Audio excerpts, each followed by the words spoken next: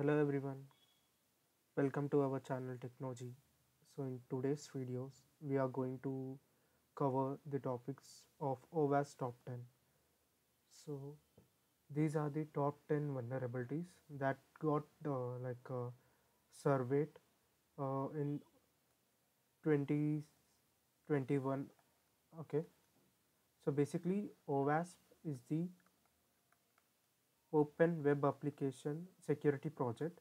So they conduct a survey for every couple of years, like uh, three to four years. They conduct a survey, and based on that survey, uh, so on different web application they conduct this survey. So I think the next uh, uh, OWASP top 10 will be released in 2025. So these are the top 10 vulnerabilities uh, which are listed in 2021 so which have been observed in many of the application when uh, during the survey of 2021 so like uh, these are the uh, total 10 uh, vulnerabilities that we are going to cover today. So let's uh, move to the first vulnerability. So that is broken access control. Okay. So broken access control broken access control.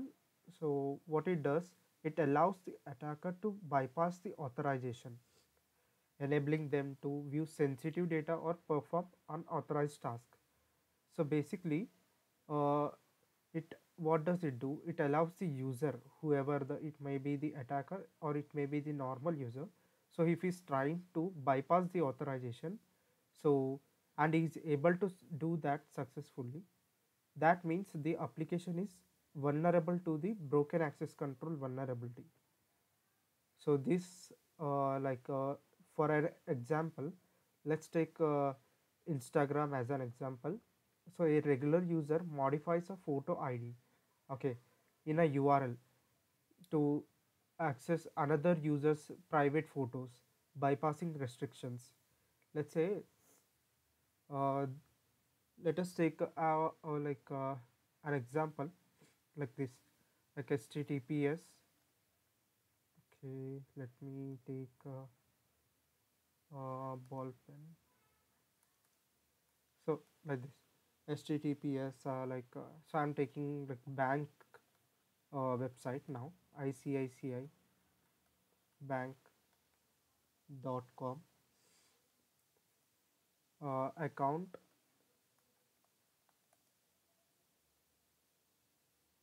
something. Let's take one two three four five. Let us assume this is the url so what happened uh, if an attacker tries to modify or the user tries to modify this uh, account number to some other account number which he want to view the details. So if we able to view the details successfully by modifying the parameter url parameter so then it is vulnerable to the broken access control. Okay so that is known as broken access control. So what he is doing is able to view the sensitive information by bypassing the authorization. So that is known as the broken access control. Then coming to the uh, like uh, this is another example which i have taken. Like a customer changes their account number in a request to view another customer account details. So this is a this is the same thing which i have explained so what are the consequences of the broken access control vulnerability? So as we see it is unauthorized access to uh, like uh, sensitive data account takeovers. Like we try to uh, manipulate the account uh, number and we try to take over the account details or manipulation or deletion of the resources okay? So not only through url parameters by also some other parameters we can do like manipulating or deleting the resources which are present in the database. So that's all are the consequences of the uh, like uh, we can say access related issues also we can uh, find in the broken access control. So basically the mitigations are mitigations or you can say solutions for this or precautions you can say like enforcing the least privilege principle. So what is least privilege so basically least privilege is nothing but like uh, giving an access to the user at what uh, at the uh, what privilege is required. So if you require only read only access or else if you require any read write access or if require read write or execute access so like that. And uh, other other like mitigation is to use role based access control so these are these can be also like uh, let's say uh, like uh, in an office okay in an office or in a company they provide the role based access for some websites or some uh, internal applications. Like uh, the admin should have the entire access the users or the employees should have the limited access so like that. So by using this role based access control also we can mitigate the broken access control then coming to the uh, another thing is perform server side checks. Yeah this is also a good thing. Like we need to check the server side authorizations. Let's say if this user uh, has the right to access to another user or not. So here we can uh, check the at the server end we can check whether this user is authorized to view the other user account or not right?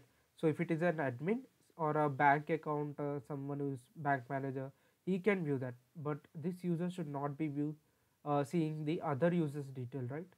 So that is the server side checks for the authorization on every request. Then coming to another thing is re conduct regular access control testing during the security assessments. So we need to also check the access control testing also. So while performing the testing uh, like security testing or the quality testing we need to check the access control testing also whether right people have the right access to the or not or he is having some other privilege access also. So that we need to check